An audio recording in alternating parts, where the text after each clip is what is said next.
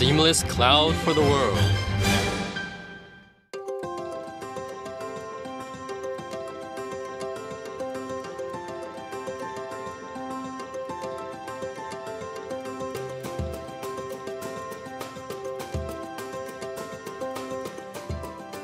あの DNP グループはあの未来の当たり前を作るっていうキーワードにですねあの今までのいわゆるものづくりの会社っていうイメージから、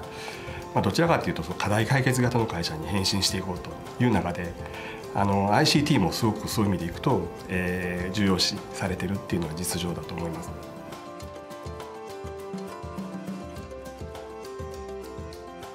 ベトナムとマレーシアが両方同時期に工場建設されるってこともあったので、えー、とこれをまた局地戦的にやってるとあの当然リソースも倍いるし時間も期間もかかるというふうなところで、まあ、なんとかできないかなというふうに考えたのが、えー、とクラウドの活用とですね、まあ、そのクラウド上に ERP を構えてでかつあのセキュリティとかコンプライアンスレベルも維持するようなサービスも付加してですね、えー、共同利用させるっていうふうな仕組みがなんとかできないものかと。やっぱり決め手となったのは、まあ、一つはワンストップフルレイヤーでサポートできるっていう会社なんだなっていうのが分かったと。 Bizホスティング Enterprise Cloud の採用を決めたっていう経緯があります。一つはやっぱ初期コストが抑えられたというのは一つ大きいところとしてあります。とどうしても今回あの海外の進出自身がやっぱ DNP グループそのものが慣れてないのであのいきなりビッグバン的にシステムを導入するとかっていうのは非常に厳しいと思ってたんで、小さく作って大きく育てるみたいな概念でいきたかったんですけどそういうことに関して言うとクラウド環境だと NTT コミュニケーションズの Bizホスティング Enterprise Cloud だとリソースのいわゆるその拡張とか縮小とかっていうのが、まあ、コマンド一発でできるとかっていうところもあって非常に柔軟性が高かったっていうのが一つ大きいところとしてもう一つのポイントは ERP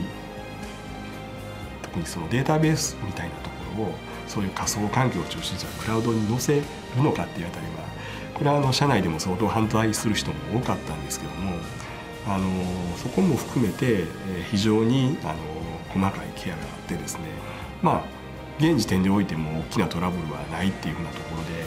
稼働してますんで、まあ、NTT コミュニケーションズを選んでよかったなと思う点ですね。ネットワークの話もアプリケーションの話も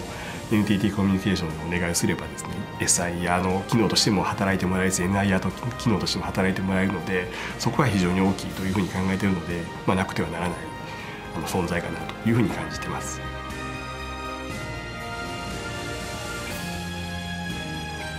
あの DNP グループが、まあ、今後グローバルで戦っていくためにはですね NTT コミュニケーションの力は非常に必要だというふうに感じております今後も非常に頼りにしております